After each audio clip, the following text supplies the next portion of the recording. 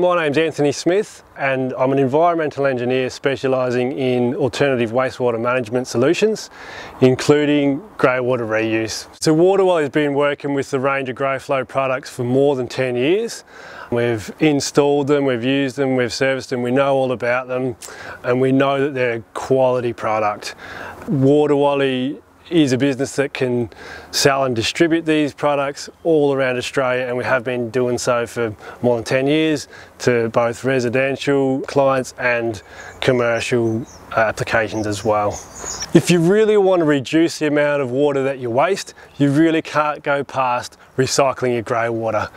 Grey water is a resource that if it's not used is otherwise going down the drain. So it's almost a no-brainer. If you've got a resource, put it to use. Don't let that resource go down the drain.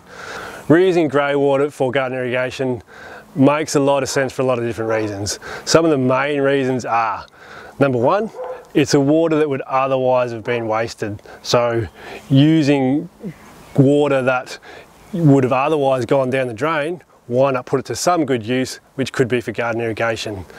It could be that we're taking the pressure off drinking water resources. So reusing water for irrigation is saving a lot of water and just makes a lot of sense.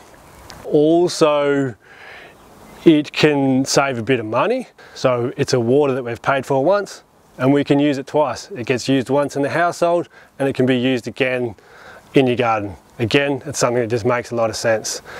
And the last point was, it's creating a year-round resource. So uh, grey water as an irrigation source is something that's available all year round, independent of things like water restrictions and other sorts of water shortages. Grey water is there all year round.